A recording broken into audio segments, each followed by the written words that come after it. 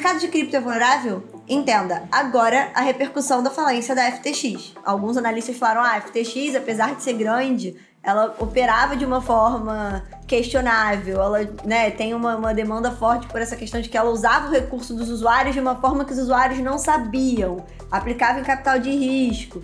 Então, por exemplo, você já vê o mercado reagindo, a própria Binance, o, a, a, os representantes, né, as associações de cripto aqui do Brasil falando: olha, a gente precisa de regulação para separar joio do trigo, porque na verdade o que está acontecendo é que a FTX ela era grande, mas ela tinha práticas de misturar né, o patrimônio da empresa com a dos usuários. Então, pô, tem que ter uma regulação para obrigar essa separação. Você vê os especialistas reagindo do tipo, queremos que esse tipo de empresa realmente saia do mercado, não que isso prejudica e tal.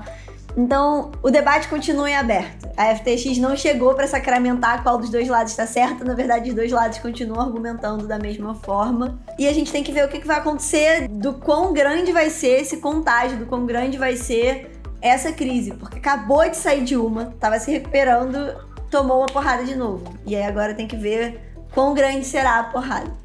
É, porque você olha, relembrando os momentos áureos aí do Bitcoin, que chegou a mais 60 mil dólares, né? Hoje você está olhando uma negociação que está por volta dos 16 mil dólares.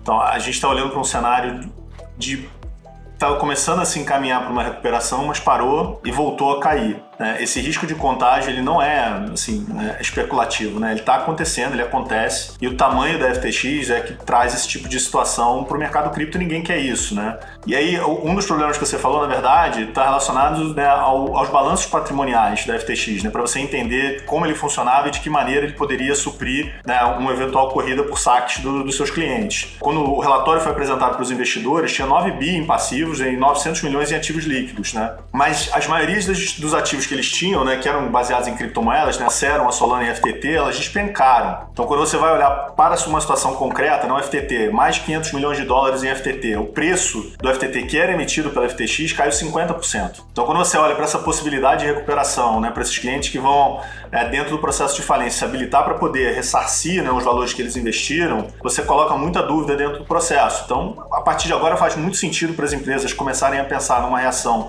não só regulatória, mas também da própria empresa, talvez da própria indústria, pensando em modelos de governança, né, para que elas possam trazer mais transparência, para melhorar os balanços, para melhorar as informações financeiras e você evitar aí um risco de contágio maior, que elas estão, elas se, se investem muito uma nas outras, né? Então, para você evitar que isso cause esse contágio e aí chegue no pior dos cenários, que é você começar a contaminar também as finanças tradicionais, você precisa melhorar a governança das empresas de cripto.